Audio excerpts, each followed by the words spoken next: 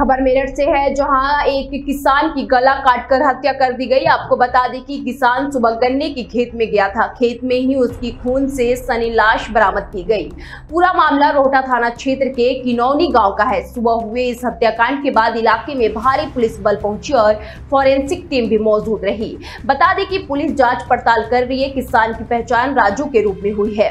इसी के साथ ही आपको बता दें कि ग्रामीणों ने बताया कि राजू सुबह घर से गन्ना छिलने के लिए निकला था। खेत से ही गुजर रहे किसानों ने राजू को खून से सना देखा तो गाँव वालों को सूचना दी। ग्रामीणों ने बताया कि किसान का धारदार हथियार से गला काटा गया था। मौके पर पहुँचे ग्रामीणों ने हंगामा कर दिया।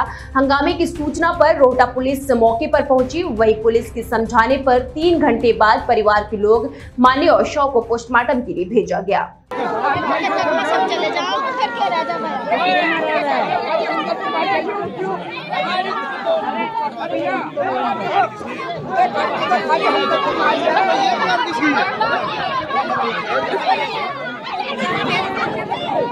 क्षेत्र रोहटा अंतर्गत गाँव किनौनी के निवासी पचपन वर्षीय राजू नामक व्यक्ति जिनके विषय में आज सूचना मिली कि गाँव में ही एक अन्य व्यक्ति के खेत पर गन्ना छीलने के लिए गए हुए थे सुबह छह बजे के आसपास और करीब आठ बजे के पास आसपास ये सूचना डायल एक पे आई कि वो उस खेत में मृत पाए गए हैं। इस सूचना पे मौके पे स्थानीय पुलिस और फ़ील्ड यूनिट की टीम मौके पर पहुँची है। पुलिस ने जाँच किया है। बॉडी को पोस्टमार्टम के लिए भिजवाया गया है।